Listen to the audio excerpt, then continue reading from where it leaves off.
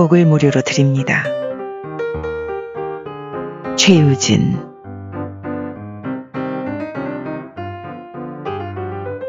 상쾌함으로 하루를 맞을 수 있어 참 행복합니다. 이 행복을 그대에게 나눠드립니다.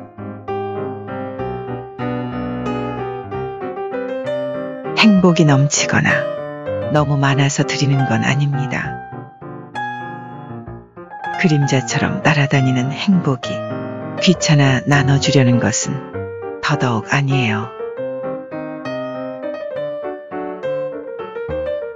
힘들어하는 그대가 행복하게 살아간다면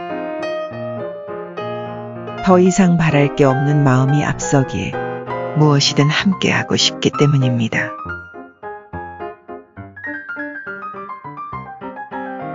행복은 돈으로 살 수 있는 것이 아니에요. 행복은 조건으로 이루어지는 것도 아니지요.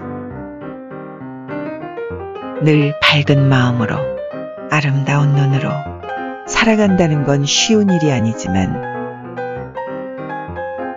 마음먹기에 달려있는 이 행복, 우리 함께 만들어가요.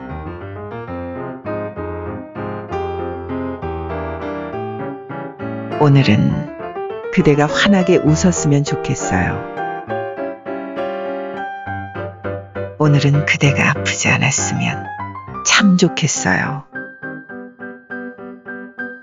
무료로 드리는 이 행복.